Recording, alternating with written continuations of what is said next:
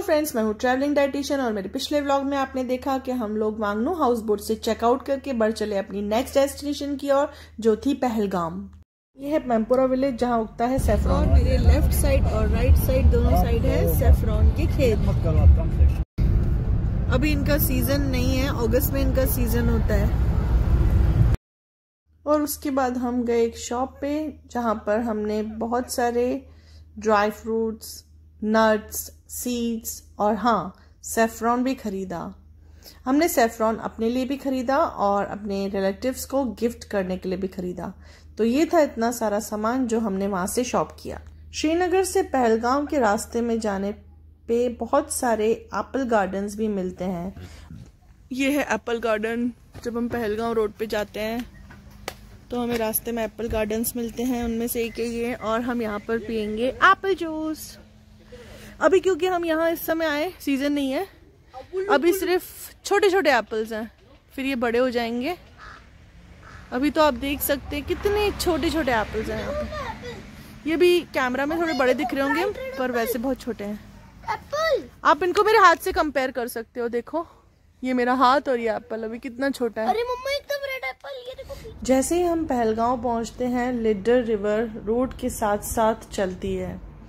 और उसका व्यू इतना ही खूबसूरत है और उससे भी ज़्यादा खूबसूरत उसकी आवाज़ है। आप भी इन्जॉय कीजिए लिडर रिवर के पानी की छलछलाती हुई आवाज़।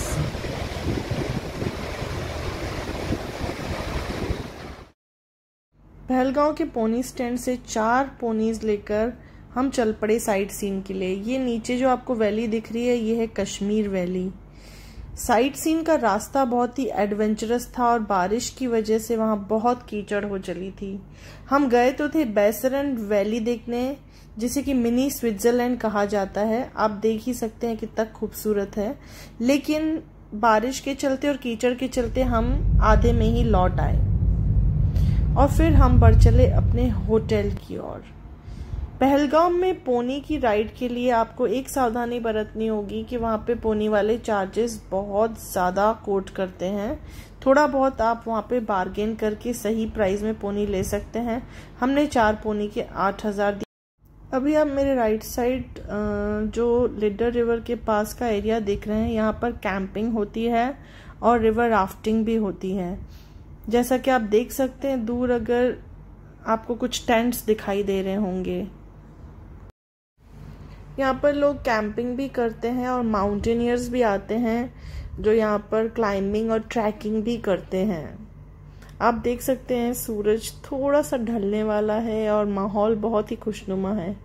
यहाँ पे चरवाहे बहुत हैं, क्योंकि बहुत ही ज़्यादा मेडोज हैं यहाँ पे ग्रीन ग्रासलैंड्स हैं, जहाँ पे लोग अपनी भेड़ चरवाते हैं।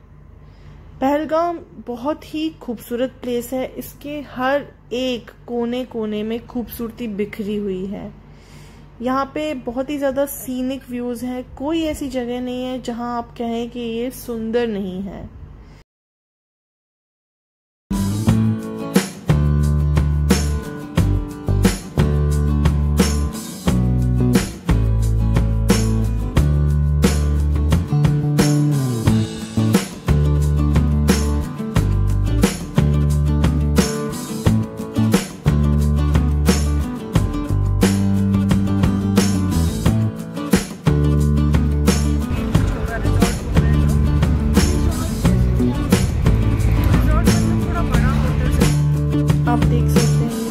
कैप माउंटेन्स और ये लिडर रिवर कैसे पहलगांव की खूबसूरती पे चार चाँद लगा रही हैं।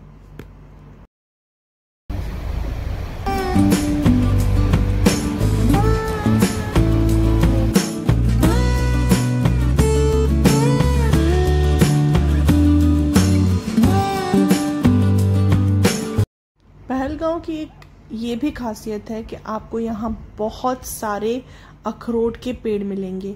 लेकिन साथ ही गवर्नमेंट की तरफ़ से इन पेड़ों को काटने की सख्त मनाही है। जब तक ये पेड़ फल देना बंद नहीं कर देते, तब तक इसको काटने पर सजा मिलती है। चाहे वह अखरोट का पेड़ वहाँ के लोगों के घर के आँगन में ही क्यों न लगा हो, वो इसे नहीं काट सकते। मैं एक बात ज़रूर मेंशन करना चाहूँगी कि अखरोट के पेड़ की लकड़ी से बना हुआ फर्नीचर या आर्टिकल्स बहुत ही महँगे मिलते हैं। और इसी खूबसूरत लिडर रिवर के पास था हमारा होटल। Hotel elegant resort. आइए मैं आपको दिखाती हूँ होटल कैसा है। जैसा कि आप देख सकते हैं, यहाँ पर रिसेप्शन एरिया है। कुछ फॉर्मेलिटीज कर रहे हैं। यहाँ पर वेटिंग एरिया है सोफ़ा लगे हुए हैं। और रिसेप्शन और वेटिंग एरिया के बीच से कॉरिडोर जाती है लेफ़्ट और राइट दोनों साइड यहाँ पे रूम्स हैं।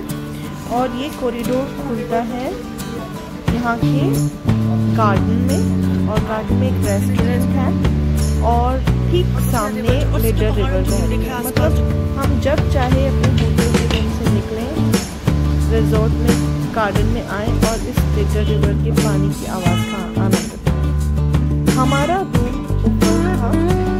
रूम मैं ये तो नहीं कहूँगी कि बहुत बड़ा था बट हाँ उसका व्यू इतना खूबसूरत था ना विंडो से और होटल का जो व्यू है, वो इतना प्यारा था लोकेशन इतना प्यारा था कि हमने दो रातें इस रूम में एडजस्ट कर उन्होंने हमारे लिए बेडिंग्स फ्लोर पे लगवा दी थी और ये जो साइड में आप देख रहे हैं, वो सोफ़ा कम बेड है तो वो भी हमने खोल लिया था।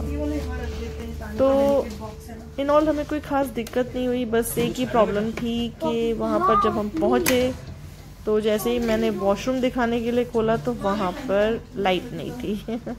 तो वॉशरूम थोड़ा छोटा था बट हाँ overall elegant resort is a beautiful place यहाँ का स्टाफ खाने पीने का बहुत ध्यान रखता है खाना बहुत टेस्टी होता है। लाइट कहाँ से और हमारे पैकेज में ब्रेकफास्ट और डिनर इंक्लूडेड था। तो ये था हमारा पहलगाम में पहला दिन जिस दिन हमने की थोड़ी सी साइटिंग और ऑफ़ कोर्स बैसरन वैली में नहीं गए, जिसे मिनी स्विट्ज़रलैंड कहते हैं। बट उसके अलावा भी पहलगांव पूरा ही सीने के तो हमें बहुत मज़ा आया। और यहाँ पर मैं आपको दिखाती हूँ कैसे इस रूम का डेकोर है। और ये देखिए विंडो से हमारा व्यू तो कल हम कहाँ जाने वाले हैं, वह देखने के लिए आप इंतज़ार कीजिए मेरे नेक्स्ट ब्लॉग का, क्योंकि पहलगाम को एक्सप्लोर करना अभी बाकी है। Thank you